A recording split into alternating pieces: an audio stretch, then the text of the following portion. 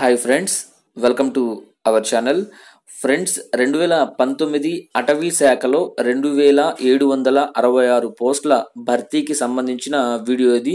ఈ యొక్క వీడియోలో మనం ఎవరెవరు ఈ యొక్క పోస్టులకి అర్హులు అలాగే క్వాలిఫికేషన్స్ ఏంటి మన ఏపీ నుంచి రిలీజ్ అవుతుందన్నమాట ఈ యొక్క నోటిఫికేషన్. క్వాలిఫికేషన్స్ ఏంటి అలాగే ఫిజికల్ స్టాండర్డ్స్ ఎంత ఉండాలి అనేది ప్రతి ఒక్క అంశము నేను యొక్క వీడియోలో మీకు క్లియర్గా ఎక్స్ప్లెయిన్ చేస్తాను.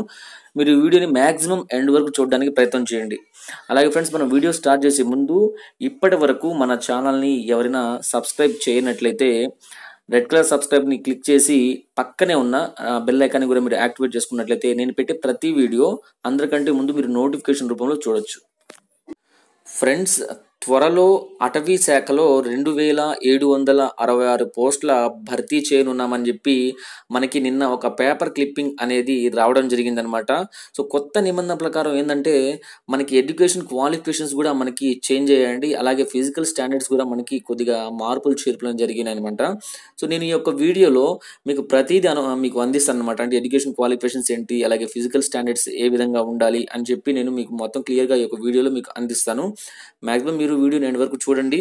అలాగే ఫ్రెండ్స్ చూడండి ఈ రెండు వేల ఏడు వందల అరవై ఆరు ఈ ఫారెస్ట్ ఉద్యోగాలకు సంబంధించి దశల వారీగా రిక్రూట్ చేస్తామని చెప్పి అటవీ పర్యావరణ విద్యుత్ శాస్త్ర సాంకేతిక శాఖ మంత్రి బాలినేని శ్రీనివాసరెడ్డి ప్రకటించారనమాట ఇప్పుడు మనం ఎడ్యుకేషన్ క్వాలిఫికేషన్ ఏ విధంగా ఉండాలి అలాగే ఫిజికల్ స్టాండర్డ్స్ ఏ విధంగా ఉండాలి చూద్దాం.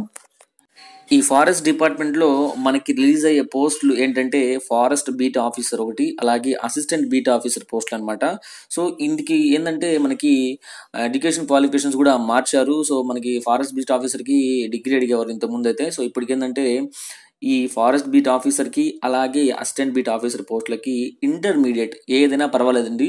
చూడండి సిఈసి అయినా పర్వాలేదు అలాగే హెచ్ఈసి అయినా పర్వాలేదు ఎంఈసి ఎంపీసీ బైపీసీ ఏ ఇంటర్మీడియట్ క్వాలిఫికేషన్తో అయినా సరే ఏ ఒక్క గ్రూప్తో అయినా మీరు అప్లై చేసుకోవచ్చు అనమాట ఇక మనకి మెన్కి అయితే height one sixty one sixty three centimetres ఉండాలి అలాగే చెస్ట్ అనేది ఎయిటీ ఫోర్ సెంటీమీటర్స్ ఉండాలి.